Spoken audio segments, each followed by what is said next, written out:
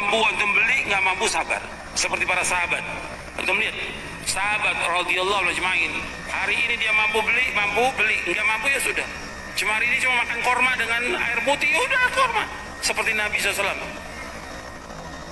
Sayyidul Anbiya al Musalin di rumahnya nggak ada yang lain kecuali tiga butir korma dan air putih. Nabi SAW pemimpin dunia dan akhirat. Jadi kita hidupnya apa adanya? Jangan maksakan jangan mampu kita beli kita beli nggak cukup sudah.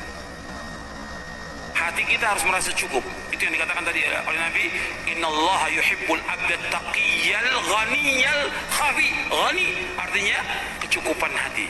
Ada kekayaan yang hakiki bukan banyaknya harta.